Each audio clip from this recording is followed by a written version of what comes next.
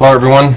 We're going to start this video by talking about TCP Modbus, serial Modbus, and the input capabilities that uh, Mach 3 has because I think you need a solid understanding of those prior to uh, actually writing a brain which is going to use that kind of information. The real power of brains comes into uh, full effect when you're dealing effectively with the data that's coming in. So let's just clear up a few misconceptions first about where the data is and how to do it.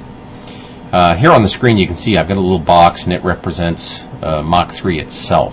Now Mach 3 is typically speaking to a printer port as we can see here. Uh, the printer port normally takes care of all of your um, inputs and outputs and typically you don't need a whole lot of brains to deal with printer port inputs. Mach 3 already has a lot of logic built in for those types of inputs. That's not to say that brains aren't useful. Um, you can obviously use a printer port input to uh, or, or output to trigger events based on what Mach 3 is doing. But as I said, the true power comes in when we start to add Modbus.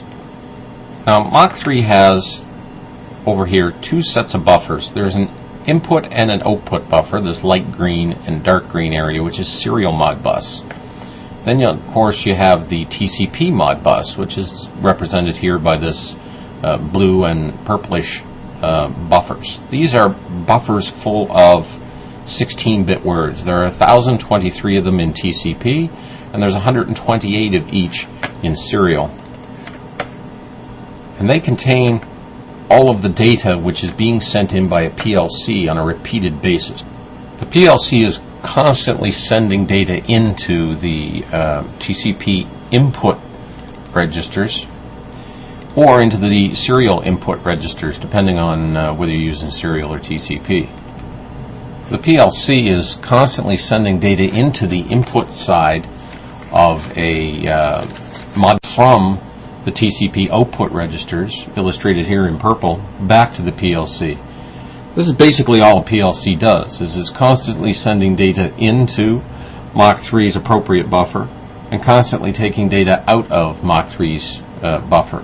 The PLC oftentimes has a logic program that is operating on that data, uh, determining what to do, whether or not to activate a valve or uh, various actions depending on the logic programmed in the PLC.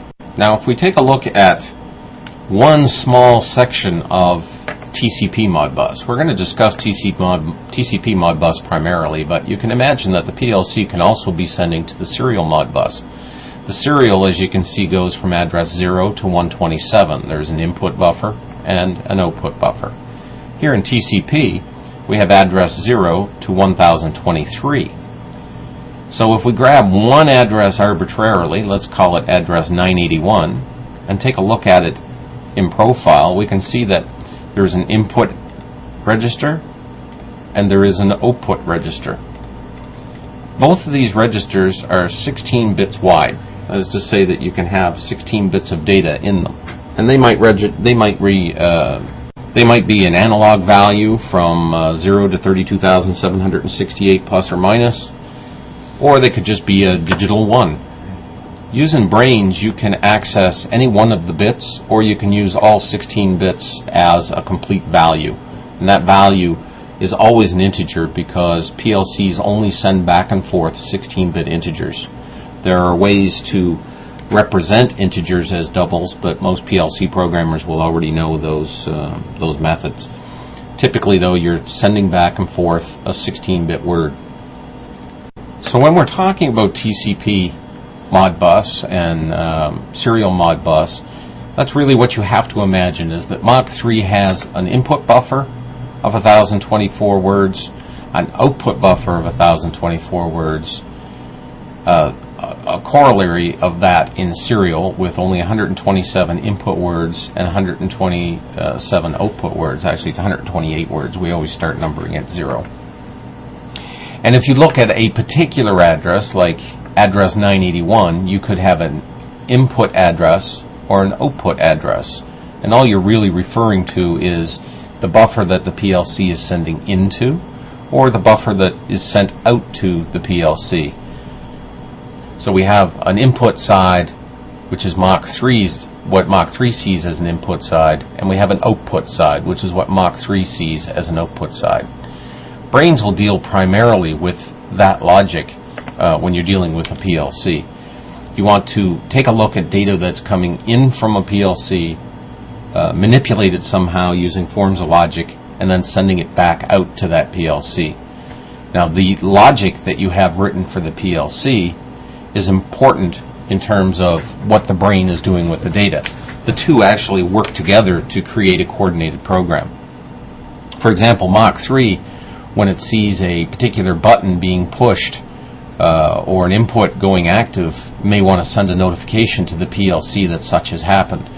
So a brain, for example, could look, take a look at uh, a DRO and say the XDRO has just gone above 10, therefore I will set one uh, register or one bit inside this TCP output buffer, and that is what will be sent to the PLC. The PLC will then see that bit or register change to reflect the status of that DRO, and it will then use its own logic to deal with it, and if there's anything Mach 3 has to do, it will then send back a word into the input TCP buffer, which you would, can use a brain or a macro to deal with to uh, perform whatever logic that you needed to perform uh, for in that context. All right, now that we've looked at um, input buffers and output buffers and how they work, we'll look at like, writing a couple of TCP programs. I'm just going to pull up the brain editor here, and we'll call this uh, TCP test, just for an example. And let's look at the real-life problem of a uh, row column uh, switch matrix. I realize some won't know what that is, but some Modbus devices, um, as they're programmed, will send you two pieces of information on different addresses. One will be the row of a switch which has been pressed, and the other is a column of a switch that has been pressed. You could picture, for example, a 4x4 matrix of switches. The PLC will decode that to two words row, and column. So let's add those two words. We're going to go to the Modbus, and let's assume that address, um, I don't know, 100 is the row. Um, we're just going to use serial Modbus, so we won't check TCP, and we're going to use the entire word, so we won't check the bit only. So here we have Modbus address 100 being used as an input. Um, let's also add another input and call it Modbus address 101. So for the sake of argument, we're going to say that the top row here, or the top input, is uh, the row information coming from the PLC, and the bottom one is the column information coming from the PLC. So now let's look at what we'd have to do if we want those that row and column to uh, press a button for us. First thing we'll do is we'll click on the row and add a lobe and make it a comparative lobe. So we're going to say compare immediate equal to 0. With the column, we'll also compare immediate and say, is it equal to 0? And what we want to do is push a button if both the row and column are equal to 0. So we're going to select those two lobes and select an AND function. And what we're doing when we say that is we're saying if the previous lobe and the next previous lobe are both true, then we want to perform a function. So if we look at this as a functional program, we're saying Modbus address 100 if it's equal to 0, and Modbus 101, the column, if it's equal to 0. We want to do something. In this case, we want to push a Mach 3 button. So we're going to terminate that AND lobe with a button press. And we could make it any button, say the feed hold button. And there we have it there's one switch out of the matrix. Now, it may seem nasty to you, but in order to do the next switch in the matrix, um, you would have to repeat this process selecting different rows and columns. So, for example, we would again add Modbus variable 100, and we would again add Modbus variable 101. Only this time, when we create our comparators for them, we're going to say compare immediate equal to 1 for the row, and we'll repeat equal to 0 for the column. We then, whoop, I messed up on that one. make sure you check the compare immediate button. If you just leave it on no operation, you're going to get exactly that, no operation. So we're going to say equal to 0 on this one. And then we're going to select those two lobes and add an AND lobe. And we can terminate that lobe with a button press and basically any button in the system, so we'll call that single step. So there is two buttons on our switch matrix uh, programmed.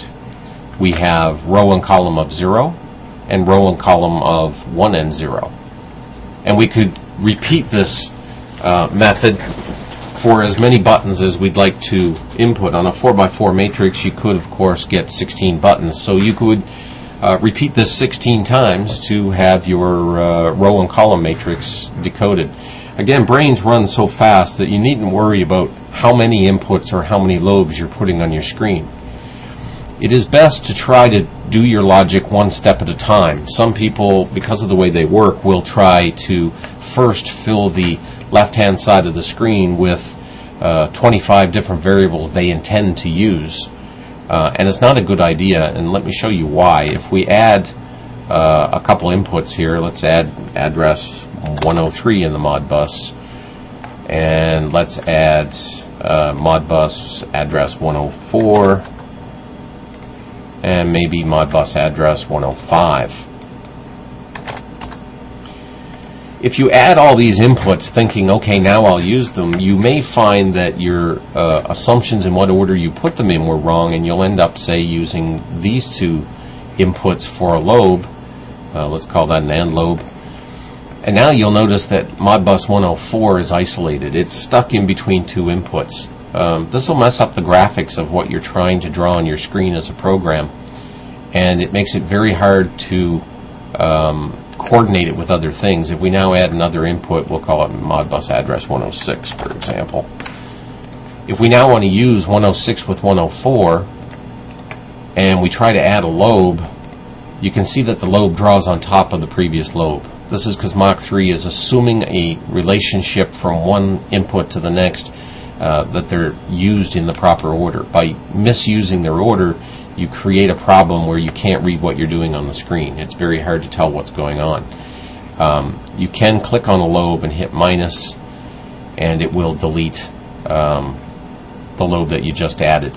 You can't always delete something uh, in Mach 3. You'll notice that I can't even select these inputs here because Mach 3 is um, knowing that they're used, and you can see there's a screw up here where I can select 101. That doesn't mean I should. Uh, it just means something screwed up in my deletion, and the logic of the program now believes uh, that that input is available for use again. Um, you can only typically delete things backwards, one level at a time. You can delete several inputs by selecting them, but you'll find at times uh, an input may switch to unused and you won't be able to delete it. So my point here is that it's best to do your program one step at a time, thinking about what you want to do and making them in the right order. So that's a short example of a Modbus program which would decode a matrix and push a button. When a button gets pushed, it only gets pushed once. Uh, the inputs must change uh, and then go active again before it would be pushed again. So for example, in this situation where we're doing a row and column compare of 0 and 0 to push the feed hold button, if those two Modbus addresses get set to 00, the feed hold will be pushed. If they change, the feed hold button will not get pushed again. It will only be pushed when it gets changed.